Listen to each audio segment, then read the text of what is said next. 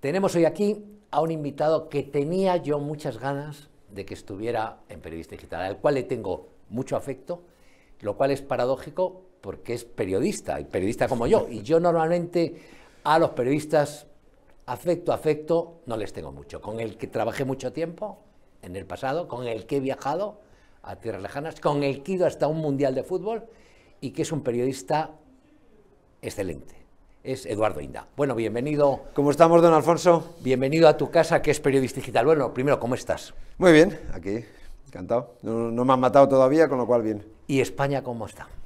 Pues yo creo que en el peor momento de su historia, ¿no? Yo nunca pensé que el gobierno de España, que un presidente del gobierno pactaría con, eh, con quienes asesinaron a 856 compatriotas. Nunca pensé que un presidente del gobierno pactaría con eh, los sicarios de la narcodictadura venezolana y jamás pensé que el presidente del gobierno pactaría con los tejeritos catalanes. ¿no? Por tanto, pues, eh, sobre todo a mí lo más grave, lo más lacerante, lo más humillante para los demócratas y para todos los españoles es ese pacto con ETA. Me dicen, Bildu no es ETA, hombre, el jefe de Bildu es Otegui, que según el Tribunal Supremo, no lo digo yo, era el número uno de ETA. Tiene allá a David Pla, que era el jefe de ETA cuando ETA aún mataba, antes de que dejase de matar, de poner bombas, de, de dejar huérfanos por el camino. Y hombre, eso es lo más, lo más vergonzoso, lo más repugnante en términos morales y éticos que yo he visto en mi vida. Por tanto, pues eh, la descripción no puede ser mmm, más, es, es inempeorable. Ya, pero de todas maneras, es decir, tendemos, y tú eres un tipo con muchísima experiencia, periodística enorme, has sido director de periódico, periódico deportivo, periódico de información general, diriges ahora OK Diario, con mano de hierro ahí, que va muy bien, por cierto, va mucho mejor que otros periódicos de otra gente que se da mucho pote, ya después hablaremos también de eso. Y...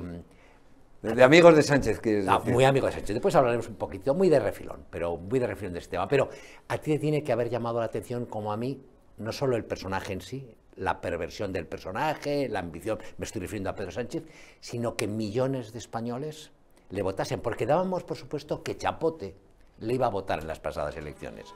Lo que era difícil de aceptar es que 8 millones de españoles... Siete y pico, no llegó a 8. Bueno, pues siete y pico se alinearan con Chapote para apoyar a Sánchez. Eso bueno, es, que, es que... Eso a mí es lo que me saca de... Claro, es que desgraciadamente y desde que gobernó Zapatero vivimos en... Zapatero resucitó la España guerra civilista, las dos Españas. Y entonces esas dos Españas están polarizadas y nunca, en mucho tiempo, yo creo que no va a haber trasvase de voto de la derecha a la izquierda ni de la izquierda a la derecha. Es decir, pensar que eh, eso Sánchez lo ha entendido muy bien, mejor que nadie, mucho mejor que Fijó. Es decir, hay dos bloques monolíticos y ese voto no se va a alterar bajo ningún concepto. Y yo lo dije el día que mm, el señor Sánchez convocaba elecciones, después de las eh, municipales, yo dije, yo no veo a la izquierda desmovilizada en dos elecciones consecutivas tan cercanas en el tiempo. Y desgraciadamente se cumplió mi, pronóstico, ¿no? es decir, que la izquierda le dieron un tan tan tan en las municipales y autonómicas, pero la izquierda resucitó y, dijo, aquí no nos van a, derrotar eh, flagrantemente de nuevo en, en, dos meses, y así ocurrió. Yo, que te leo y te escucho con frecuencia, te oí decir, o escribir, no recuerdo ahora, que sobre la campaña que hizo la derecha, en concreto el PP, y apuntabas claramente a algunos líderes regionales como culpables parcialmente de lo que había pasado. Señalabas en concreto a la líder del PP en Extremadura. Vamos a ver, yo señalé a María Guardiola, pero ella no fue la gran culpable, los grandes culpables fueron en Génova 13, es decir, usted, si gana el primer debate, tiene que ir al segundo. Y además yo les puse un ejemplo aquellos días, les dije, la campaña electoral a la presidencia del Real Madrid el año 2006 la tenía ganada de calle Juan Miguel Villarmir, empresario de éxito, había fichado, tenía comprometidos a los mejores jugadores del mundo, no me acuerdo qué entrenador llevaba, pero de superélite, no sé si era, no, Vicente del Bosque estaba con, con Juan Palacios, pero bueno, llevaba un, un entrenador de primer nivel y luego tenía al establishment del Real Madrid de su lado. Y mm, Juan Miguel Villarmir, eh, asesorado seguramente por uno de esos eh, spin doctors que te cobran una millonada, le dijeron no vayas al debate porque lo tienes ganado y puedes perderlo. ¿Y qué hizo Telemadrid? En ese debate le puso una silla eh, vacía. ¿Qué ocurrió? Que Juan Miguel Villarmir, eh, eso unido a las trampas de, Ramón Calderón, pues eh, perdió unas elecciones que tenía ganadas, porque esa imagen de una silla vacía en un debate electoral, pues demuestra que eres un flojo, que eres un débil, que eres un perdedor y que por tanto no puedes ni debes de ser presidente de Real Madrid. Y esto ocurrió en el segundo debate, es decir, si tú no vas, das sensación de debilidad. Y claro, si tú vas a si tú no vas a ese debate, dejas solo a Bascal eh, ante el peligro, pues eh, claro, era uno contra dos, dos contra uno. Normalmente siempre los dos te van a ganar eh, al uno por razones obvias. No es que no quiero que me hagan la foto con el, señor Abascal. Digo, hombre, el señor Abascal es bastante mejor moral y éticamente, infinitamente mejor moral y éticamente que el señor Otegui. Que el señor Otegui pegaba tiros, secuestraba, ordenaba asesinatos. Es decir, ¿de qué estamos hablando? Y, y qué ocurrió? Que además Sánchez fue habilísimo, o sea, jugada fue magistral. ¿Qué hizo Sánchez? Fue a ese debate y fue de subalterno. Le dio todo el eh, protagonismo a Yolanda Díaz, que se preparó muy bien el debate, lo hizo superlativamente, se lo preparó muy bien, fue la gran ganadora del debate. Abascal, lógicamente, pues no pudo contra dos, porque es que, en fin, aunque vaya eh, Churchill redivivo, si, si tienes dos enfrente, pues es más complicado eh, ganar. Y, y, aquello provocó que Yolanda subiera, que resucitasen a Yolanda. Mm, Sánchez eh, estuvo generoso, yo creo que eso lo apreció el gran público, Abascal hizo lo que pudo, pero la gente apreció pues que, que tenía miedo y el miedo en unas elecciones el electorado lo, penaliza. Luego, segundo factor, tú, mm, el eslogan de campaña del Partido Popular era maravilloso, deroguemos el sanchismo, hay que derogar el sanchismo, maravilloso, pero lo, segundo que dices es, cuando haya que pactar, al primero que me voy a dirigir es al PSOE de Pedro Sánchez. Oiga, mire, no, si usted va a derogar el sanchismo, no puede pactar con Pedro Sánchez, podrá pactar con, pues no sé, en fin, con cualquier partido. Usted podrá hablar hasta con Junts, que me parece bien que hable con Junts. Pero mm, pactar con eh, Pedro Sánchez, estamos locos. Tercera cuestión. Usted en campaña sale diciendo que pide el voto a los antiguos votantes de Podemos. Yo, yo decía, pero ah, o yo estoy loco, o aquí alguien se ha vuelto loco en Génova 13, porque eso no es una estrategia de Feijóo, eso se lo diseñaban los, los chanquetes de la vida. Y, yo digo, pero vamos a ver, un votante de Podemos ni en 10 reencarnaciones te va a votar, a lo mejor en la undécima sí, en la duodécima, pero desde luego en, en, esta, en esta vida no te va a votar. Y luego el factor Guardiola. Yo creo que Guardiola, eh, en fin, Guardiola, si tú acabas de hacer un pacto con Vox en, la comunidad valenciana, si estás forjando eh, o has forjado ya el de las Islas eh, Baleares, si tienes pendientes los demás, el de Aragón. Y vigente el de Castilla y León. Y vigente el de Castilla y León. Y tú dices, no, no, yo no quiero pactar con Vox porque son machistas, xenófobos, racistas, xenófobos, machistas, racistas y, qué más era. Y, o sea, machistas, xenófobos, racistas y fascistas, yo no sé, bueno, en fin, eran cuatro epítetos maravillosos. Y entonces, claro, tú dejas como, como un gili a Amazon, dejas como una gili a Marga Proens, dejas como un gili a Mañueco, dejas como un futuro gili al señor Azcón. Es absolutamente todo terrorífico. ¿Y qué ocurrió? Que ese debate de Guardiola, la izquierda lo supo explotar muy bien, tú compraste el discurso de la izquierda y esa polémica estuvo en primera línea de actualidad 10 eh, días y en Génova no lo cortaron. Y eso fue el gran error. Yo creo que Guardiola, y luego además Guardiola luego ha pactado con Vox, o sea, es decir, es que es, que es todo absolutamente incomprensible. He de decir que Guardiola está siendo una gran presidenta de Extremadura, lo está haciendo francamente bien, y ese discurso que le, que le vendía eh, su asesor. Tenía, un jefe de prensa. Martínez Vares. Sí, sí, claro. Claro, ese es de los que iba a las tertulias de, televisión, lo ponía en el lado de los presuntos contertulios de, de derechas y siempre daba la razón a la izquierda. Digo, hombre, no. Eh, digo, digo que, que, ese, que ese es de Podemos, que ese si pudiera nos fusilaría al amanecer. Mm. Em, entonces estamos hablando de, un disparate supino. El disparate te puede durar en campaña un día, 24 horas, 48, pero no 72. Y si te dura 10 días, tienes un problema no, no lo supino. No lo freno, y luego yo, el, cuatro días antes de las elecciones, yo fui a comer lejos de Madrid con alguien muy importante del Partido Popular y era el día justo después del debate, cuatro o cinco días antes, y de repente nos sentamos a la mesa y le digo, hombre, ¿cómo lo ves? Esta es una persona así un poco eh, taciturna, que no, no, no, no sonríe mucho, y me dice, complicadísimo. Y yo, ¿cómo que complicadísimo? Y digo, me, dice, sí, sí, complicadísimo, no se va a llegar. Yo ya estaba estupefacto. Entonces yo ahí vi ya el, el viernes eh, de campaña, yo estuve en Málaga, estuve con Fijó, le vi, eh, él es un tipo muy simpático, encantador, buena gente, eh, es un tipo muy afable y le vi un poco hundido y dije, pues aquí algo no está funcionando. El sábado yo hablé con varios dirigentes del PP, lo daban ya por perdido y el domingo a las 4 de la tarde pues el tema, el tema, el tema pintaba como pintaba. ¿no? ¿Tiene solución esto? ¿Se puede dar marcha? Es cierto que España está en un momento catastrófico todo, en, muchos aspectos, el peor periodismo de, los, de, las últimas décadas, la censura más alta, autocensura y censura. y mucha autocensura, que es la peor de las censuras. del último medio siglo, bueno, más, del último siglo casi, eh, un gobierno con tentaciones autocráticas evidentes. No, no, es un gobierno autocrático. No, no, tentaciones, eh, eh, don Alfonso, no. Es un, el presidente, es, el presidente es un autócrata. Pero esto tiene vuelta, marcha atrás, lo podemos parar. Esto solo tiene una solución, que es reconstitucionalizar España reconstitucionalizar España. ¿Eso cuándo se producirá? Cuando se vaya Sánchez. Yo creo que el Partido Socialista tiene que volver a ser ese Partido Socialdemócrata transversal, hasta, diría yo que hasta votable como lo fue para muchísimos españoles en la época de Felipe González, pero eso solo pasa porque se vaya eh, Pedro Sánchez. Y ahí tiene que haber un pacto entre los dos grandes partidos para que este sea un país donde mm, eh, el imperio de la ley sea sagrado, donde la separación de poderes sea eh, sagrada, donde la libertad de información esté garantizada y no pueda tener injerencias de los políticos. Y eso, insisto, con Sánchez es imposible. Con el que venga después de Sánchez, si es Paje o quien sea, pues yo creo que será perfectamente factible. Reconstitucionalizar España es lo que, lo que toca.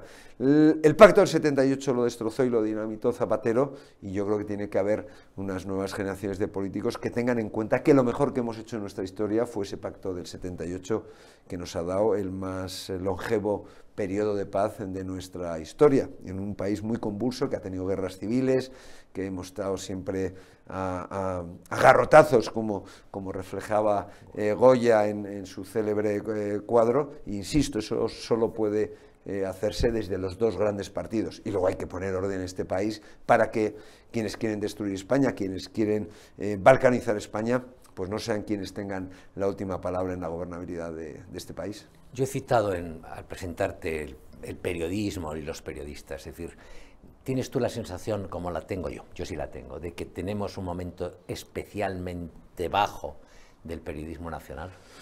Absolutamente. Y luego además... Eh, pues tú, pues tú, eres una voz y tú dices lo que piensas, tienes un medio combativo, tú has, hecho, tú has levantado en el pasado, además, incluso historias muy fuertes que afectaban al centro derecha, las levantas con respecto a la izquierda y el centro izquierda, pero no es lo común. Lo común es el periodismo pastueño. Es el, periodismo, militante, pero yo eso lo detesto. A mí me provoca arcadas. Es que me, me, provoca, asco moral. Y bueno, yo he sacado el caso Urdangarín. Yo he sacado eh, con Esteban Urriztieta hace 17 eh, años y medio.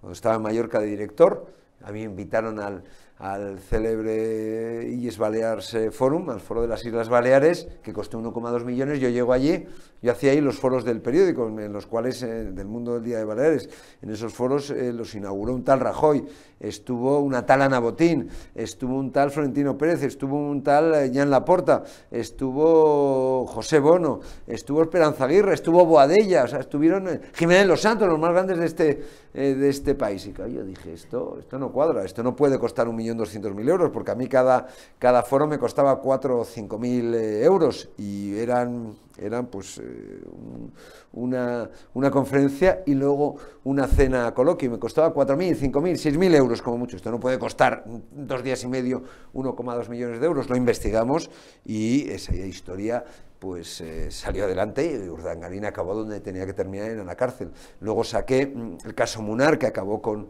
con, eh, una mm, política corrupta, corruptísima, que había en Baleares, que era la gran baronesa de las islas, quien mandaba de verdad en los últimos 30 años en, en Baleares y la saqué contra todo y contra todos. Yo me acuerdo un día que publicamos Munar Transporta, con sus empresas, la grava de las carreteras que adjudica, ojo al titular, todos los medios lo intentaron ocultar, le daban la razón a ella y, y, dio una rueda de prensa y dijo, el mundo ha mentido. Yo digo, joder, a ver si nos hemos equivocado. Y no nos habíamos equivocado, pues dice, yo no tengo el 50% eh, de esa compañía, tengo el 100%. Fue maravilloso. Eduardo Inda sacó eh, el caso Puyol, con esta Urristita. Sacamos el caso Bárcenas, los sobresueldos en Génova 13, es nuestro, no es del país, es nuestro. La financiación en B, Luis E. Fuerte hacemos lo que podemos. Esos SMS los sacamos, sacó un servidor en el mundo.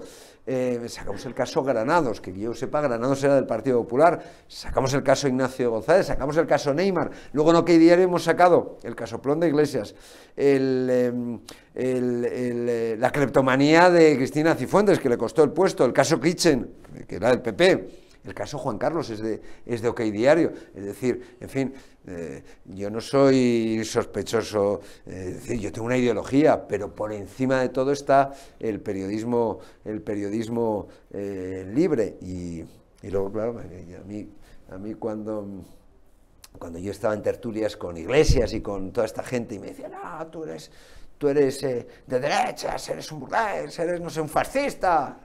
Digo, hombre, debo ser muy fascista, pero yo siempre les decía, ¿quién sacó el caso Urdangarín?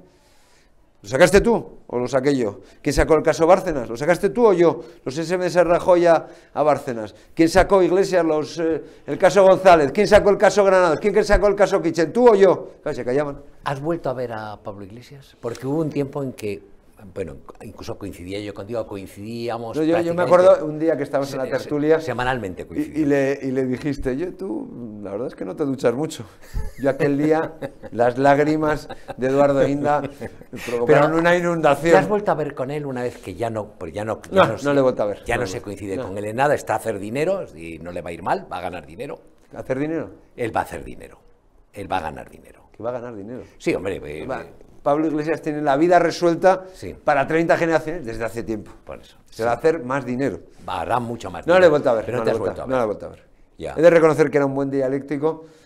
No, y, y, de hecho, él consigue con con Podemos unas cifras y unos récords que no se van conseguido nunca en la izquierda. Bueno, es verdad también que con buena eso, bien sé eso. sí. Eh, y hay que decir que, hombre, si tienes a todos los medios de comunicación diciéndote que eres el mejor, apoyándote, sacándote a todas las horas, pero, no eh, eh, pero, siguiéndote de forma crítica, pero, es todo más fácil. Había un papanatismo. Tú conoces como yo muy bien la profesión. Y en nuestra profesión tiene un componente también, o un sector muy cateto, muy cutre y bastante ignorante. Y entonces este les hablaba, venía de la universidad, como el monedero, y les citaba tres, y, les citaba tres nombres. muy izquierdoso. Sí, sí. O sea, claro, le decían, este es les maravilloso. Citaba tres nombres y se les hacía el culo El mejor antídoto fue el casoplón de Galapagar, que lo descubrió, cómo no, OK Diario. Eso es un, sí, es un gran tema. Y otros periodistas. Esa historia fue maravillosa porque eh, lo del casoplón fue estupendo, porque a mí vino la gente de investigación del periódico a contármelo. Tenemos esto, esto va a misa. Claro, pero no teníamos los papeles. Y yo, claro, digo, joder, pero ¿cómo vamos a publicar esto sin papeles? Y entonces pasan 24 horas y yo no lo publico. Y todos callados. Oye, que esto es verdad, hay que sacarlo, es que si no se lo van a dar a otro. Pasan 48 y pasan 72. Yo estaba en los toros, en las ventas. Y de repente me llaman y me dicen, oye, hay que darlo, pues si no se lo van a dar a otro medio. Entonces dije, que se dé. Pues ya me insistían que era verdad. Y, aquella noche, yo duermo bien, pero no dormí tan bien como habitualmente. Digo, a ver, sí, claro, no teníamos los papeles. teníamos eh, testigos que de manera, yo creo que incontrovertible, hacían ver que la historia era verdad. Y eh, la mañana siguiente yo fui al programa de, de Ana Rosa, 8 de la mañana, 9, 10, 11, llegan las 12 y digo, esto es verdad, no lo han desmentido. Y era verdad. Era, la historia. Era, a mí me sorprendió, ¿eh? porque me parecía tan estúpido. es decir, yo, que él como dirigente político, con lo que había dicho, con los planteamientos, porque tenían muchas alternativas intermedias, pero irse a la casita de invitados, a la piscina, al piscinaco, me pareció y dijo, él dijo, yo nunca me iré de Vallecas. Yo no voy a ser, yo no soy como esos políticos burgueses que viven en casoplones o en, chaletazos en las, en las urbanizaciones de lujo de los alrededores de Madrid. Toma ya hemos hablado del dinero de Pablo Iglesias. En los medios de comunicación también lo ha intentado. ¿Tú crees que terminará cuajando alguna de sus iniciativas? yo creo que es imposible, por una sencilla razón, don Alfonso. Porque no es periodista. Tú para triunfar en el mundo de los medios tienes que ser periodista. Y es verdad que él tiene una vis eh, pública eh, interesante, pero él no es periodista. Y eso el, televidente lo, observa. Y luego cuando tú vas de, por la vida de austero, de honrado, de pobre, de amigo de las de, las, eh, de los pobres y vives en un apartamento de Vallecas y te vas a un casoplón de 300 y pico metros con una piscina que parece de, la mansión de Carlos Slim, eh, eh, eh, en fin, con, con, 30 guardias civiles guareciendo tu casa, creo que ahora les han quitado la, caseta, pero bueno, sigue teniendo... Ellos intentaron mantenerla y se la han quitado. Sí, pero creo que sigue teniendo seguridad pública y bueno, yo contra eso no tengo nada que objetar, pero si son, tienen riesgo contra su integridad me parece bien, pero pero, claro, si tú vas diciendo todo eso y haces todo lo contrario y te diriges a las masas, eh, a los descarriados, a los pobres del, planeta, eh, rememorando la letra de, la internacional y te vas a ese caso plom, pues claro, tu carrera política, tu credibilidad se va al carajo en 30 segundos. Sé sincero, nosotros cuando trabajamos juntos en el mismo medio, en el mundo, tuvimos un director excepcional, porque era muy bueno, que es Pedro J, muy buen periodista. Bueno, yo creo que de todos los periodistas que había en la casa, lo tengo que decir, usted era mejor que Pedro J. No, lo digo siempre, lo digo siempre, usted era más periodista. No, yo te lo agradezco. Usted, usted lo que pasa es que no, no, no, no, no le, faltaba el, el, Hay quien sabe el callarse de vez en cuando, Hay ser, ser un poco establishment. Hay quien sabe dirigir y quien es un reportero, pero te chocó a ti, te chocó conociendo al personaje como lo conocemos. Y no vamos a hablar más del personaje. El verle en el acto de presentación del libro de Pedro Sánchez, que había escrito una negra, aplaudiendo a Jorge Javier? O sea, ¿te chocó la imagen? Absolutamente. Es decir, vamos a ver, mí fue... Vamos a ver, Felipe González, podemos negarle el pan y la sal. Ha sido uno de los grandes gobernantes de este país. Eh, permitió que quienes habían perdido la guerra Em, eh, ganase las elecciones y no fuera una política vengativa. Es decir, él lo que hizo fue estabilizar el país. Y eso hay que reconocérselo a Felipe González y yo creo que fue un gran estadista. Em, es decir, una persona que persiguió los desmanes de Felipe González, que los tuvo, que ahora aplauda a, Felipe, a, Pedro Sánchez, que, vamos, Felipe González es María Goretti a lado de Pedro Sánchez, que aplauda a este personaje es ciertamente llamativo y es de, para mí es de un grado de inmoralidad supina. Eh, a mí me chocó mucho la imagen. No, a mí no me chocó. Y, eso se llama amoralidad. Es que no tenía necesidad, Eduardo. No, o sea, decir, no tenía necesidad. Necesidad. Bueno, necesidad. Es cierto que el mayor anunciante español es el gobierno de la nación controlado por Sánchez. es verdad. Pero... Necesidad. Era una cuestión del corazón. Aquí, aquí, aquí tenemos el corazón, pero también tenemos la cartera.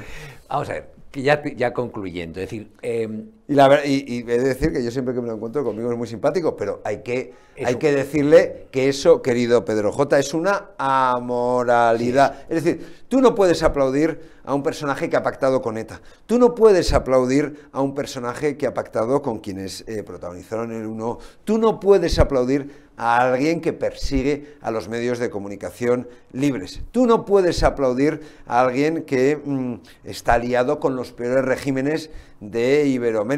Tú, si eres un demócrata, o si lo sigues siendo, a lo mejor hay que empezarlo a dudar, tú no puedes aplaudir a, un autócrata. No puedes aplaudirle. Y no debes ni siquiera de ir. Has dicho alguien que persiga a los medios. Es decir, hay contra ti una campaña y hay una serie de dirigentes, dirigentes del gobierno y del entorno del gobierno que han intentado silenciarte en los últimos, en los últimos meses. Eh, ¿Tú eres consciente de eso? ¿Tú percibes cierta presión? Los Pachi López, los que escriben a la, llaman a la Asociación de la Prensa para ver si toman medidas contra ti. Sí, lo noto, pero nadie dijo nunca que la eh, libertad de expresión, eh, que el ejercicio de la libertad de expresión, que defender la España del 78, la Constitución, la democracia, las libertades, la separación de poderes fuera fácil. Es decir, pues para eso pues me hubiera hecho funcionario, oye, de 8 a 3 y por las tardes eh, hacer deporte o a, ver series. Pero nadie dijo que esto fuera fácil. Creo que es una obligación moral, un imperativo moral lo que, lo que hago, cueste lo que cueste. Y a mí Pachi López, que venga Pachi López a intentar censurarme, es que me provoca risa. ¿Quién es Pachi López? ¿Quién es Pachi López? ¿Usted la, la ha escuchado hablar? Bueno, eh, no, no, no, es, no Es licenciado en, primero de Ingeniería Industrial, creo. En fin, eh, el, nivel es el que es. No, es el... a, mí, a mí, Pachi López me provoca pena. O sea, porque a Bolaños yo le reconozco eh, cierta autoridad intelectual, incluso a, Pedro Sánchez, pero Pachi López me provoca mucha pena, me da pena. Y he de decir una cosa, ya nos expulsaron a nosotros del Congreso de los Diputados cuando hicimos eh, una foto, cuando conseguimos la foto del tridespacho de Pablo Iglesias, es decir, nos contaron que mm, Pablo Iglesias no tenía un despacho normal, que se había unido tres despachos y no nos lo creíamos. Y nos dijeron, os vamos a llevar. Y nos llevaron, hicimos una foto, eh, un reportaje como Dios manda, lo publicamos y a los días se reunió la mesa del Congreso y decidió expulsarnos del Congreso, con el voto a favor de Adolfo Suárez y y Ana Pastor del Partido Popular.